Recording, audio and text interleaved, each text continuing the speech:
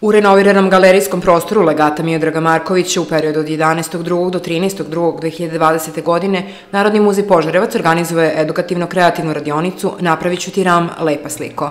Učesnici ovog programa bili su učenici viših razreda osnovne škole Dosete Obradović, kao i mlađi verni ljubitelji umetnosti.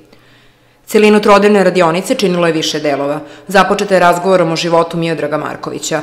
Deca su se upoznala ko je bio njihov sugrađanin, darodavac, spomen zbirke, na osnovu čega su iznala zanimljiva poređenja ko bi danas bio Miodrag Marković i kako ga doživljavaju. Deo debate odnosio se i na život umetnika u međuratnom periodu, kao i život legata. Nakon ovog dela, učesnici su sa stalne postavke odabrali delo koje je ostavilo na njih najveću impresiju i preneli ga na svoje platno.